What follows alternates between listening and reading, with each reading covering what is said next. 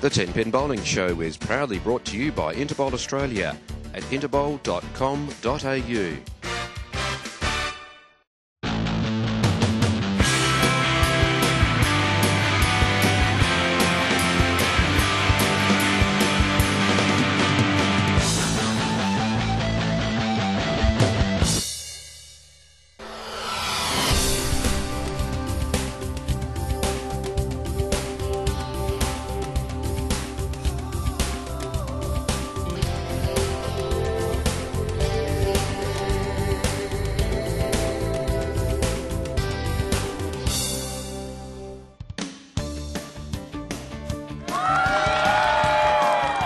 Welcome to the 10 Pin Bowling Show.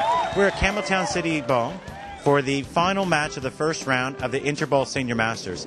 Today, you're going to watch Ron Bickerstaff take on Les Harrison. We'll send you up to Brenton and the commentary team, and we wish the athletes good luck in high scoring. Thank you very much, Dennis.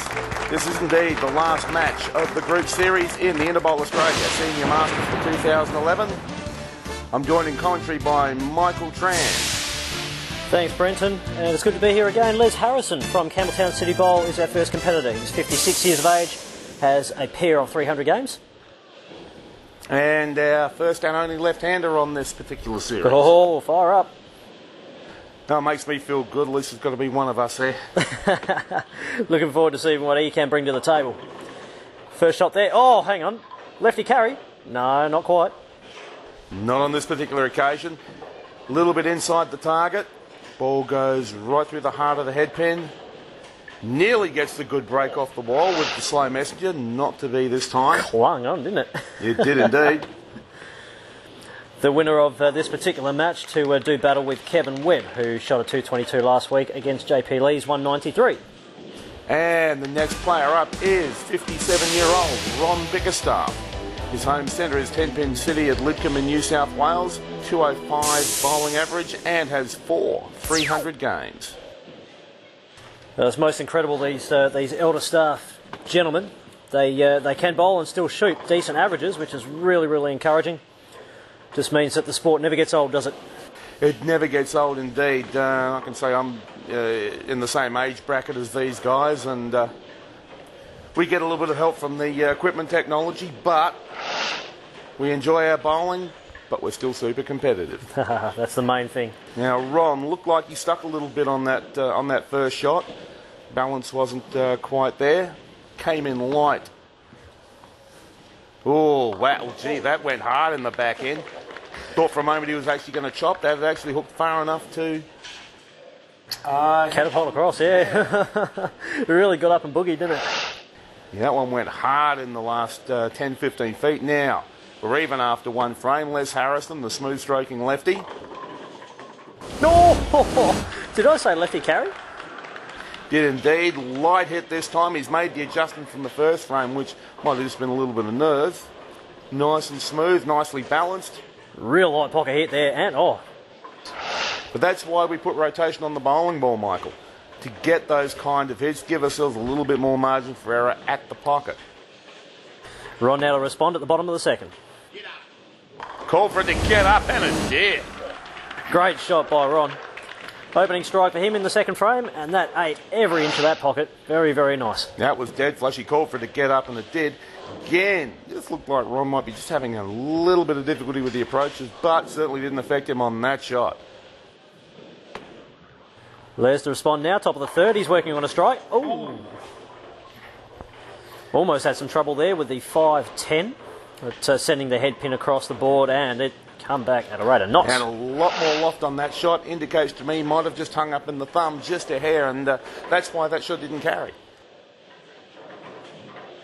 Single 10 pin. You'll watch Les hook this ball into the 10. There's a variety of different ways that uh, bowlers choose to pick up their spares, this being one of them. Let's have a look. Whoa. Would have been one of them had he made the spare again. Looked like he might have just hung up in that. Oh my goodness. You cannot get any closer than that and not make the spare. That was. Wow. Ron Bickerstaff now with a very uh, good chance to make inroads into this match. Oh. Oh, had a great opportunity there. I think um, Ron's got one of those releases where it's a figure eight. The uh, the ball sort of turns this way and that way in the middle of the uh, the approach, and then releases just nice, but gets a lot of angle on the ball when it uh, gets to the back end. Figure eight approach, uh, indicative of bowling uh, probably pre mid 1980s. Uh, most of the players around the place were throwing figure eights back then, including yours truly. I uh, have to admit to having the figure eight. You had a figure eight, Mr. I still do. Oh, You haven't been watching much lately. no, no, I haven't seen you about. But Ron Bickerstaff now has a 12 pin lead after making that spare.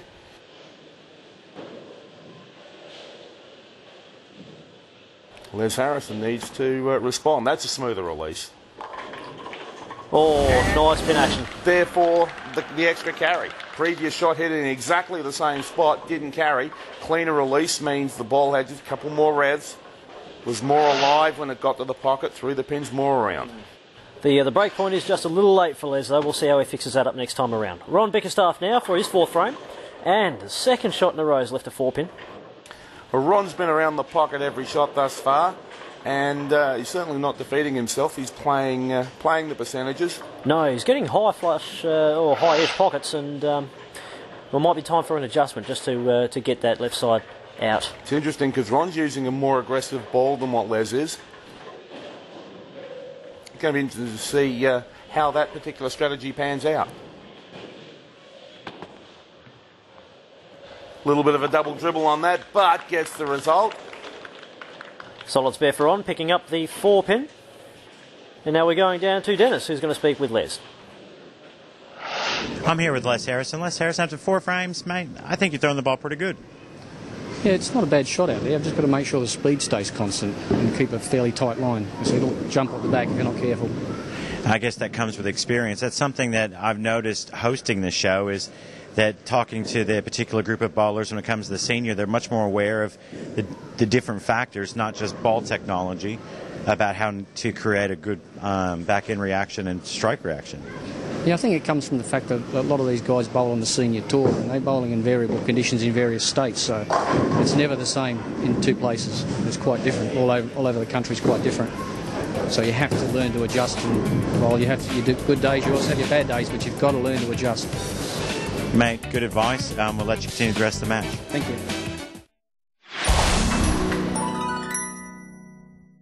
I think it's time for another segment I like to call Resets Rules Bowling Basics. This will be my Oscar role. okay, first thing we need to do is work on the fundamentals. We're going to take a four step approach to perfecting your game. Answer me this How many steps do you take before you release the ball? Uh, 50. No. Uh, uh, uh, 112. Nope. No. Uh, eight million and three? No, the correct answer is four, Crud. The answer was in my hand the whole time. but clearly not within your grasp. Okay, let's talk ball position. Which hand do you bowl with? Uh, um, uh, there's so many choices! You figure that out, and I'll illustrate it with this diagram. Hi, Sticky. Hi, Reset. Okay, if you're right handed like Sticky, place your left foot slightly in front of your right and place the ball on your right side. Next, hold the ball between waist and chest high. Use good balance. Then the ball goes out on your first step. It's at the lowest point on your second step. It's back at the highest point on your third step. And finally, you release the ball on the fourth step. Don't forget to follow through. Gee, Reset, you sure hit the fun in fundamentals. And you supply the dirt. Thanks, Sticky. Don't mention it. Good luck, kid. And have fun. Thanks. And best of all, we weren't interrupted by that annoying little. Kreuzberg! Do something! Where is that narrator guy? Oh, right here. Hold on. What are you doing? Are you eating? I was watching reruns of Bowlopolis. and sharing chili cheese fries with Lucille. Lane, hurry up! Okay, will Lane do things? Will stuff happen? For answers to this and that, tune in for Bowlopolis. Hey, who turned out the lights?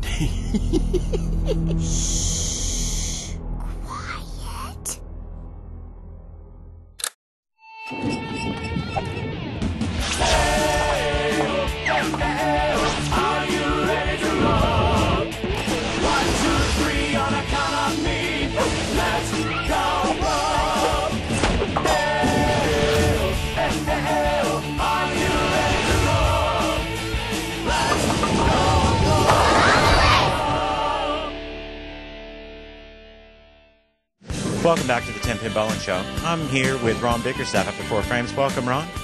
Thanks very much, Dennis. How are you today?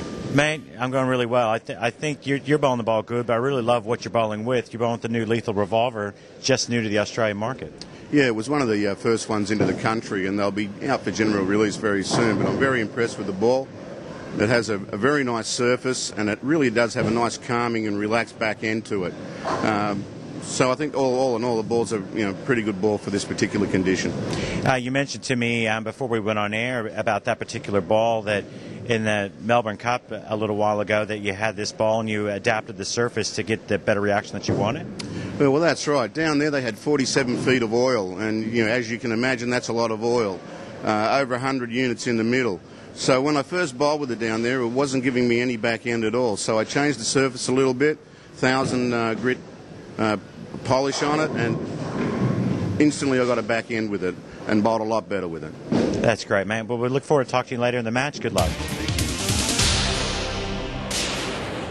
And welcome back to all our viewers to the 10 Pin Bowling Show. You're watching the Interbowl Australia Seniors Masters for 2011.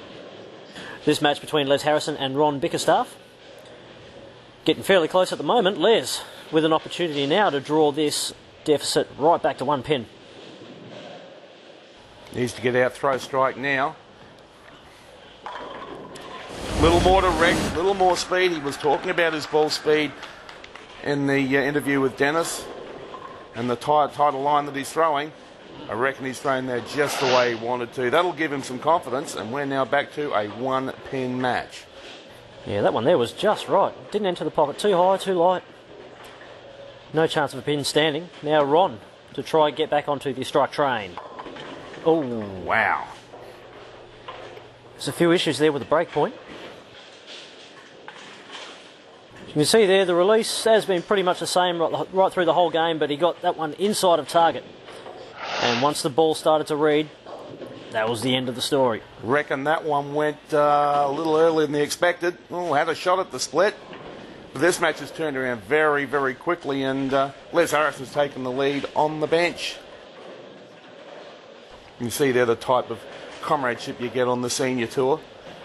It's a uh, little bit more relaxed and a little bit uh, friendlier with uh, with our competition, but when it time, comes time to throw the ball, we're no less competitive. Oh, I've no doubt there. The uh, the tapping of the fists indicating, in general, bad luck, mate.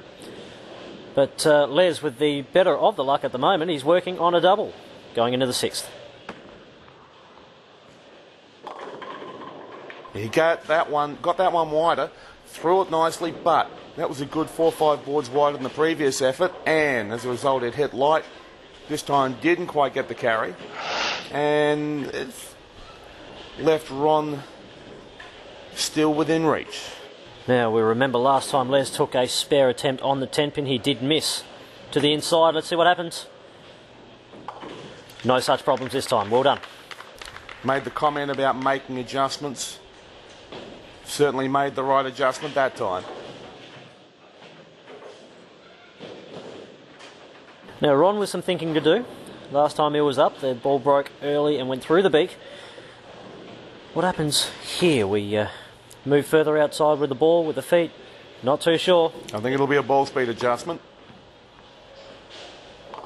That ball certainly went long. Oh, there you go. One for the righties.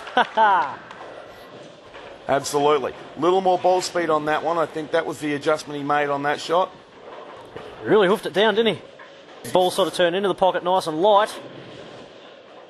There you go. Certainly made sure he accelerated through the bottom of that swing. Nothing careful about that shot. Left nothing in the bag. He's right back in the match. It's a 14 pin deficit. Oh. Second one there.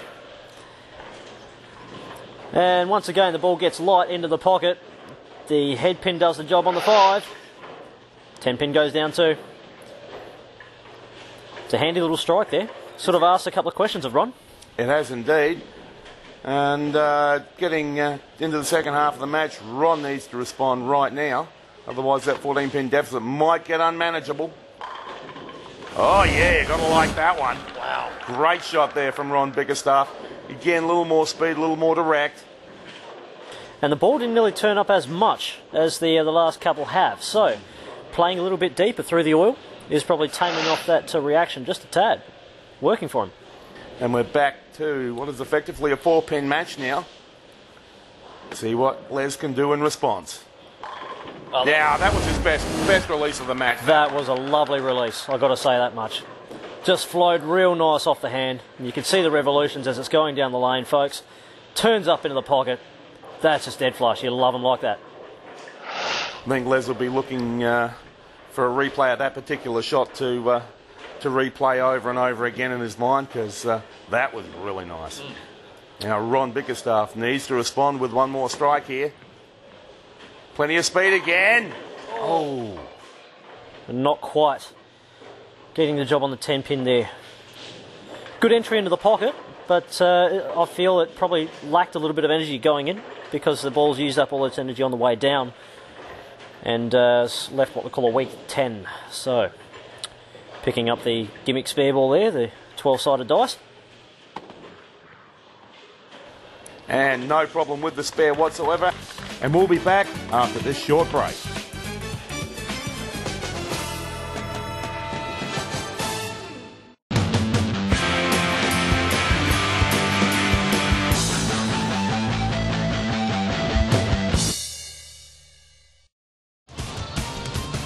Welcome, folks, back to the 10 pin bowling show, covering the Interbowl Australia 2011 Senior Masters between Les Harrison and Ron Bickerstaff. Les Harrison currently holding what's effectively a 15 pin lead after Ron could only manage a spare in the eighth. So, with two frames to go, we're headed to an exciting conclusion. We'll see what happens right now as Les holds the ball at top of the ninth. Oh, there it is. Getting that light hit again.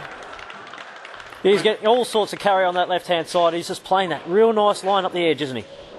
He is, but again, as I say to people all the time, this is why we hook the ball. We hook the bowling ball to generate more pin action so that some of these off hits carry better. Ron Bickerstaff now in a must strike situation. Oh, that's a pretty shot. Nice. Great shot indeed, that one. Have a look here. The ball almost splitting the eight and nine pins deep into the pocket. And that's a perfect hit, that one. When you see the uh, the ball separating the eight and the nine at the at the back row, you really can't get it any better than that. Well, whatever happens from here, Ron cannot shut Les out.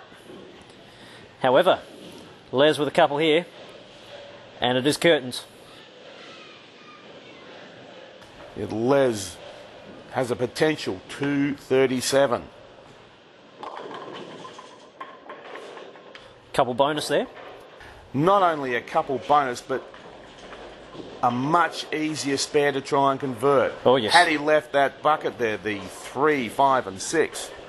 Difficult conversion, that one, especially under pressure. Just leaving the five pin with those couple of late falls, much easier spare. It could have been quite a different result. However, Les with quite a simple five pin to pick up now. And has done that no problems whatsoever. And the situation now is that he needs a seven count on this ball, and that will shut Ron Bickerstaff out. Six or less, Ron still has an opportunity to win this match. For uh, folks out there new to bowling, the, sh- the term shutout means no matter what you do, you cannot win the game. So it's all on this ball. Oh, That's a flush hit for a nine count. That's 215. And that right now is out of reach for Ron. He knows it just checking out the scorecard. The max Ron can manage from here is a 212. Les is your winner. He will go on and do battle against Kevin Webb in the semi finals. And really, Ron was only undone by one errant shot. He was in the pocket for every other frame. Just one errant shot, and it brought him undone. And I'll tell you what, he, he had a decent go at that spare too, because uh, had he picked up that spare, this could quite have been a different uh, result. Could have been indeed, but Ron's finishing out in style though. Two dead flush hits. Nice tap on the 10 on the way through by the 6. Just how you like to see him. And that's the sort of thing you get when you get your speed and your break point right. Certainly late in the match, the speed and the break points improved for Ron. Second half of his match has been very, very solid. Second ball of the 10th now. Whoa, that one's out the window. Yeah, lost that one a little bit. Ooh.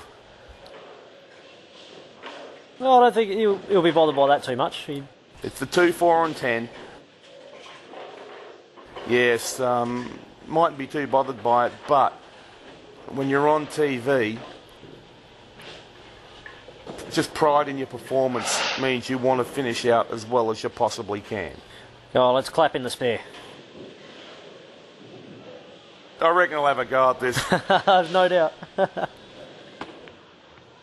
right up the outside. Turns up. Oh, well done, Ron. nice way to finish. It's a 199 to Les Harrison's 215. And it's Les that will go on and do battle in the semi finals. and he'll take on Kevin Webb.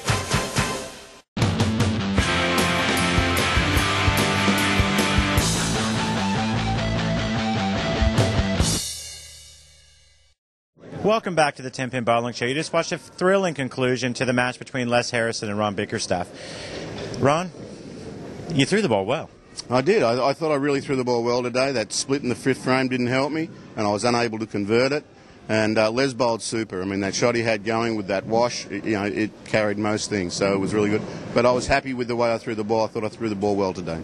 And you had a stellar um, 10th frame to, for television, um, converting the split the way you did. Well, you know, a little bit of showmanship at the end there, just to prove that there's, there's some life in the old dog yet. Yeah. Well, mate, I just wanted to have a quick word to you. You're the Australian distributor for Brunswick. People at home may not know that, and you've been heavily involved with uh, junior development, particularly with supplying the gear for the kids for the um, Asian Championships. Well, we've always believed that the youth is the future of our game and that we should support them. And Chris Batson got right behind it. He believes in the product and he wanted his kids to have the best product to take to the World Championships in Thailand. And so we were only too happy to help him out where best we could. Well, I appreciate that, and we look forward to seeing you down the track and some of the new releases as well. Thank you very much, Dennis. And congratulations, Les. Thanks. Les, Oh, yeah. you did well. yeah, it wasn't too bad after I made an adjustment in mid game. So, what adjustment did you make? I had to drop to the dots as opposed to throwing to the arrows. It just allowed me to get to the ball, to get it on the lane a little bit earlier, and it just made it get to the pocket a little bit clearer, cleaner. And I managed, got, I managed to get a bit of a sweeper on the last cue. And that's I've I've enjoyed so much um, being part of um, the senior masters because of the I guess the um, the knowledge and the different the different way and methodology that you use to get the ball to the pocket. You know, we had Kevin a few weeks ago that was describing about ball speed, and you talked about changing where your eye target was to get a different reaction on the back end. Yeah, it just comes down to something as subtle as that in the end sometimes, just to try and get that corner pin out or just to try and actually hit the pocket correctly. It's just minor changes can make a big difference. Yes, it can in this game. We're weird for playing this game, but geez, I love it so much. Oh, That's fun. Well, thank you so much. We look forward to seeing you in the next couple of weeks in the semifinals. Okay, thanks, Dennis. And that'll see the end of this episode of the 10 Pin Bowling Show. Please join us again next week for the semifinal coverage of the Interbowl Senior Masters. From all of us here, good luck and high scoring.